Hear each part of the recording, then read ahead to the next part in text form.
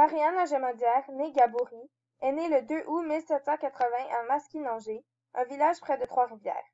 Elle demeura dans son village jusqu'à son mariage à Jean-Baptiste Lagemodière, un coureur des bois qui travaillait pour la compagnie de l'abbé Dutson. Quelques jours après leur mariage, Jean-Baptiste annonça à Marianne qu'il voulait retourner voyager. À la surprise de tout le monde, elle décida de le suivre, ce qui est très rare pour une femme de cette époque. Ils passèrent l'hiver dans un camp métis, là où naquit sa première fille, qui est le premier bébé blanc né dans l'Ouest canadien.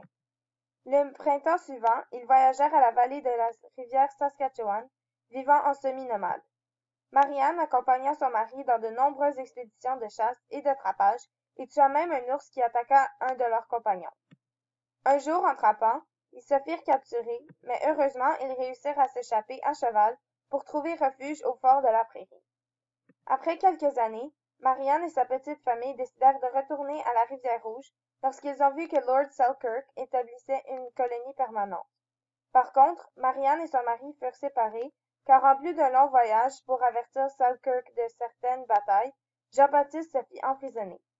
Lorsque la paix fut rétablie, Selkirk donna une terre à Jean-Baptiste où la famille vécut pendant de nombreuses années.